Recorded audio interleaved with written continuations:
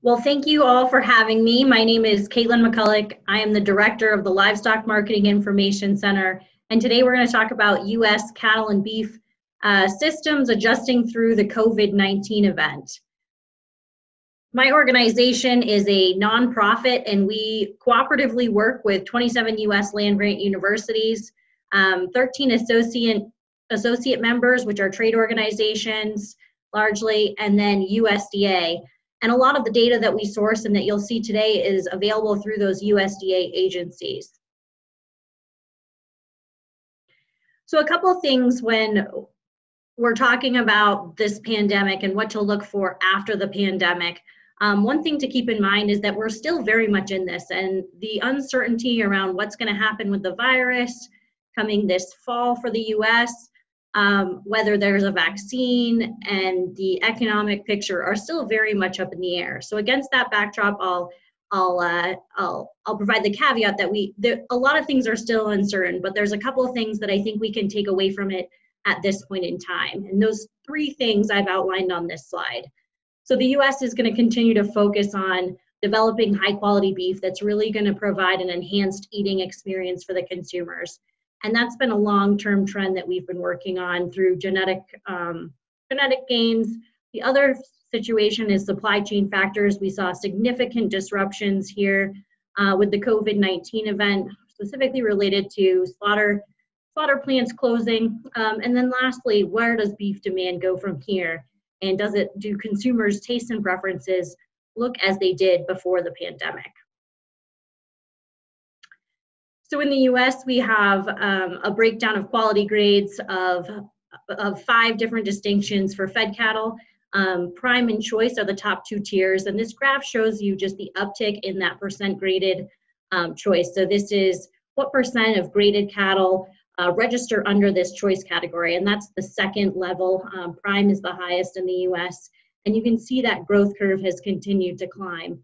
Now, this is a relatively short term trend, and a lot of it has to do with an increase in the number of dress weights, an increase in dress weights that we've seen fed cattle um, increase to as they've had to remain on feed longer because of the slaughter situation. But longer term, we've really seen an uptick in the percent grading prime. That's that highest category in the US. So from 2015 and 16, we were sitting about 5% of carcasses were grading prime. Now in 2000, in the first half of 2020, we're closer to 10%. So that's an enormous change over a fairly relative short period of time. And that's really been focused on both um, increasing the number of days on feed, putting a lot more investment in genetics um, towards that heavy marbling and increasing um, that eating experience. The other thing that we've seen more specifically pandemic related is how, um, how, how cattle producers are being paid. Um, and so in any black swan event, it's a little up in the air how how these market trends kind of sort themselves out. But these are the main groups in this graph um, of how the US is going to sell cattle. So we have negotiated, which is largely a spot market price. So that's um, anything that's going through an auction situation or being outright bid um, when it's ready to be delivered. And then these other ones are more marketing arrangements um, that deal with other types of relationships that dotted black line on the bottom uh, used to be close to 5% or so of transactions. And during the COVID event, um, that negotiated grid has really jumped up to over 20%. And part of that is because you're seeing those prices increase because of our, all the carcass quality characteristics that are adding to that bottom line for that, for that animal. And so a little bit unique here for the COVID event, but part of that is the increase in prime. And so folks that are able to price cattle on a negotiated grid are getting paid more and you've seen more interest um, for those producing higher quality cattle they're going to want to benefit from that and change their transaction type um, to something that really benefits them. On the supply chain side uh, the us had several plant closures um, not specific necessarily to beef um, but since this is a cattle presentation we'll focus there and a lot of it had to do with the health and safety of workers. So, one thing to keep in mind in the US is that it's a decentralized health system. Um, so, initially, those decisions to close or keep plants closed or open um, were very much at the county, county level or the state level. Um, the President Trump did put in an executive order to move that decision to, um, to a federal essential um, essential worker level. And so that mitigated some of the closures. But still, all these, these um, supply chain processes needed to put in place personal protective equipment to ensure the health and safety of workers. And that's what the system we're operating on today. Um, it's not that we we can't close plants. It's that we're doing a lot more testing. We've put in um, personal protective equipment, uh, dividers. In some cases, we've spaced the lines, the line, um, the workers on the line in further distances and slowed change speeds to accommodate that. I think that is probably a longer term trend that we'll see in the US beef industry, um, especially until we have maybe a vaccine or something more concrete to be able to deal with COVID 19. And, and so some of those changes are really depend on where the virus goes from here. On the feedlot side, um, again, we backed up significant numbers of cattle into the feedlot in that they weren't able to move through the slaughter system at the normal speed that they were. Changes on those, I think, are going to be less substantial. It was really, it's really more of a short-term thing in terms of managing cattle rations, managing weights, deciding what cattle need to be marketed when there is space available. The bigger long-term trend that we probably don't know for sure what's going to happen is how the supply chain is going to handle um, animal to market delivery. So the US is very much a what we would call a just in time system, where from harvest to uh, either shelf space or, or food or restaurant is a very quick window. It's not necessarily getting routed to cold storage. We consume a lot of fresh product up here and slaughter plants too are making a lot of case ready products. So when you have a disruption at the slaughter level, it really slows down the whole system. There isn't necessarily um, a lot in cold storage that is able to go through those supply chains if you do have a significant impact at that level. And I think some of this depends on timing. We seem to have really worked through the slaughter situation in the US, and so maybe there aren't necessarily the need to put in safeguards but for example, in the case ready system, um, grocery stores and other retail places no longer really have the back end space to, to fabricate a carcass or a primal on their own.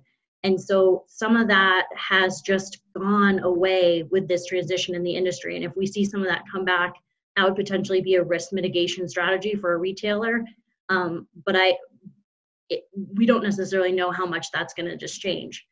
When you have a just-in-time system, distribution, logistics, and cold storage all sort of fall into that time frame as well. We don't have a ton of cold storage where you could move to a system where you're storing a lot in a frozen in a frozen system and then moving it. You'd have to build all that infrastructure. So again, I think it depends on how long uh, the virus takes to get into, under control and what sort of safeguards we need to, to invest in that uh, infrastructure.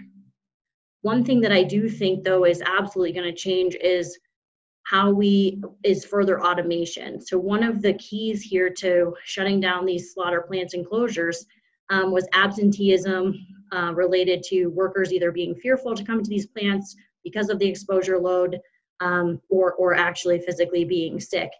And based on how tight the labor market generally was in the US at that time, that's really created um, really created the perfect storm of just physically not getting enough labor into these jobs that are that are skilled and couldn't necessarily just autofill uh, from whoever was available. Um, and so I do think you're going to see a more aggressive movement to automation in these sectors um, where, where you can just really quickly, here's a graph of the cattle slaughter. We expect about we expected about a 14% decline in second quarter slaughter, so a fairly big dip from a year ago. And you can see by the end of June, we've largely moved past these. So again, it matters how quickly we can we can continue to slaughter at what we consider normal levels. Um, but again, we have a lot of systems in place now to protect health and safety, and so reaching those levels takes takes a different strategy than it did before. And one of those strategies that's been employed is a Saturday, excuse me, a Saturday harvest day. Um, and you can see that by the level of sa Saturdays that we've um, slaughtered above a year ago. So continuing, we're expecting that to continue in order to meet um, the slaughter levels that were similar to a year ago in order to keep those cattle moving through the system. So I mentioned cattle being backed up on feed. Almost all of the fed cattle in the U.S. are going to move through a feedlot um, on some type of grain finishing ration. Um, the number of cattle on feed, although it's below a year ago, we actually have a substantial higher number of cattle that have been on feed longer. So longer days on feed, meaning they've been in that feedlot a significantly longer portion of time. So right now, um, we have about 1.1 million head higher than last year that have been on feed for more than 120 days. Um, so a significant uptick in just that specific category. Now to work through um, work through those cattle numbers and to move those cattle from from a maintenance ration or hanging on, excuse me, hanging uh, hanging back in those feedlots, you're going to need those slaughter levels to continue at at least above a year ago if if not higher, in order to move through that backlog and to have a more normal uh, feedlot system um, mechanism in place. So all of these things are really wrapped up though in how much the consumer can purchase beef, what the interest is from a from a beef demands perspective. So the first half in the US was largely a supply situation where we were struggling to maintain that throughput of having cattle be fed, be slaughtered, and make it to the grocery store. In the second half of the US, we perceive that the slaughter plant situation is largely going to be well controlled, even if the US has another um, significant wave of coronavirus. That remains to be seen. Um, so we're, we're optimistic that that would not result in a slaughter plant closure. But the second half of the US is we're really focused on how well the consumer is going to be able to afford beef, um, and not just in the US, but um, worldwide. So the US is has entered a period of recession, as has the world. The World economies are going to struggle to move forward. And in a general sense, beef is more expensive than these competing meats. The US is still largely a US facing market. Um, and so the domestic consumer sentiment is important. We're looking at fairly low levels, um, not quite as low as the Great Recession for the US in 2008, but still substantially lower than where we were um, in 2019. And we'll really need to see the economy pick up in order to um, in order to see a lot of movement from a beef demand side. So there's there's the economic implication of consumers not maybe wanting to spend as much on food, but there's also still the restaurant implication. So in the US, we say it's about a 50 50 mix uh, pre coronavirus between uh, what you would consume at home and what you would have consumed outside the home. Obviously, during coronavirus, with restaurants completely shut down for several months, um, we've moved completely to being in the home, and now we're only gradually starting to see those areas open back up. Now, I think um, the the interest in the domestic in the U.S. consumer to partake in those specific areas is going to be relatively slow, um, and folks aren't necessarily going to rush out to participate in restaurants, and so that's going to be a significant headwind for for U.S. beef moving on the domestic market. Now, on the world market, again, it comes down to affordability. What are their protein alternatives? Exchange rates come into play. Um, all of these things. And so far this year, um, U.S. beef and veal exports had a fairly strong first quarter. Um, but ever since um, the U.S. really had really shut down and have this um, widespread uh, pan, um, widespread number of cases, U.S. beef and veal exports have, have dropped off. Now, some of that is um, beef. U.S. beef became much more expensive when we had slaughter troubles, but the U.S. dollar also also improved relative to other currencies um, during the May timeframe as well. Um, U.S. beef has become less expensive and so may be more attractive as as we move forward. And this chart just simply says, you know, the U.S. is a net importer of beef um, as it is, so we still are importing quite a bit more beef. And when beef became more expensive, you can see this level really jumped up I don't think that's necessarily going to change with um, with coronavirus or post pandemic. Um, the U.S. consumes a substantial amount of beef, and and we'll still need to import um, post pandemic as well. So the big question is maybe how well positioned we are moving forward after the pandemic, and and to me it comes down to how big of an impact it has on the economics of those that are producing the capital. So from the cow calf operations to the feedlots to the packers. Now, packer margins have been very strong post pandemic, or excuse me, during the pandemic. Post pandemic, probably not going to see a lot of changes there. Um, on the other side of that, though, um, the US has also already been in a contractionary phase, meaning we have about every 10 years we see cow numbers um, have a have a peak or a trough. Um, and so we were already starting to see less cow numbers um, last year and i think the pandemic will just accelerate that in terms of this cattle cycle. So those two dotted lines you see are kind of our best guess at where where the numbers are going to fall uh, moving forward um, subject to change but this definitely put more pressure on the cow calf um, people to look at their look at their financial situation and and understand how much uncertainty they can they can deal with. We see it, we did see an uptick in beef cow slaughter numbers. So this is that cow calf herd. It's it's been above a year ago for the last several weeks, but I think a lot of that is residual from the from the slaughter disruptions we saw in the beginning part of the year. And ultimately, we're still we'll, we are still estimating um, the cow calf side of things to have a positive year year over year. And I think that largely depends on how optimistic the beef in, or the, excuse me, the cattle industry is coming this fall. That's when our uh, cow, the majority of our calves are going to be sold, and that's ultimately going to determine what that bottom line is and how much liquidation we see in the future. So, a couple things to just wrap up. Again, we're in the midst of this pandemic, so it's still really early to call for widespread change from a structural standpoint. Um, this isn't just affecting cattle and beef markets, but it's also rippling across the food sector. So, from a labor perspective, we're struggling to get uh, fruits and vegetables harvested. Um, other systems that have heavy um, labor participation in uh, food service have are also dealing with labor impacts, maybe just not on as wide of a scale as maybe the slaughter facilities have we have seen a change in purchasing patterns.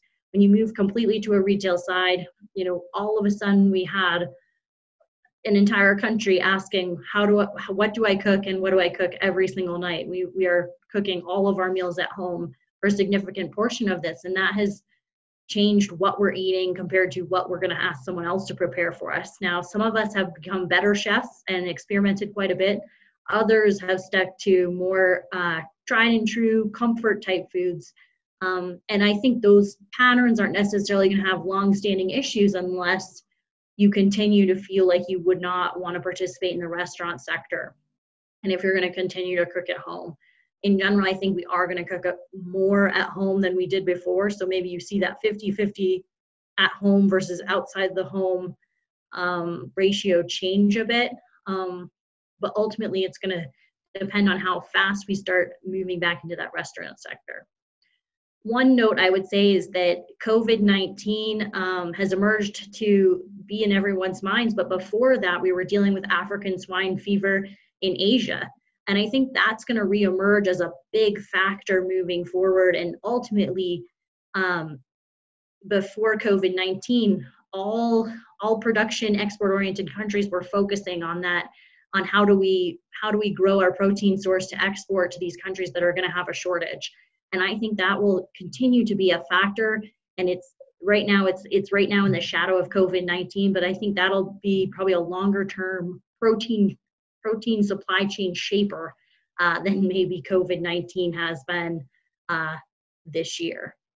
Again a lot of questions um, about the virus and what happens next but hopefully this has given you some things that we're thinking about. And thank you again for your time.